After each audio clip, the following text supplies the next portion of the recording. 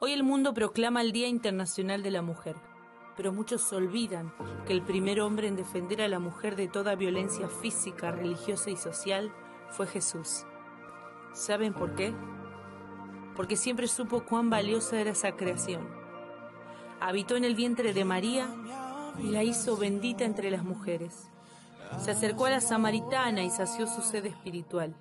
Le dio de beber del agua de vida se acercó a la adúltera y la libró de toda condenación. Se acercó a María, de Betania, y dejó al descubierto su corazón noble de adoradora y desinteresada. Escuchó a Marta y la libró de todo afán. Libró a la atormentada por siete espíritus y la hizo su discípula. Se acercó a la mujer pecadora y se dejó ungir y besar por ella y perdonó sus pecados. Vio la ofrenda de la viuda pobre y no la tuvo en poco. Conoció la fe de la mujer cananea y trajo resurrección y vida a su casa. Cambió el llanto de los padres de la niña enferma en alegría. Talita cum, niña, levántate.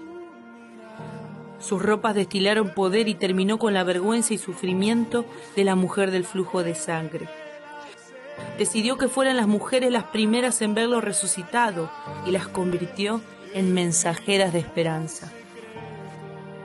Hoy muchos celebran y recuerdan este día dejando a Dios de lado, pero hoy damos gracias por los lugares de privilegio que Él escogió para cada mujer y oramos para que toda mujer pueda descubrir su identidad en Cristo Jesús, para que las que sufren puedan correr a los brazos del Padre. Feliz día, mujer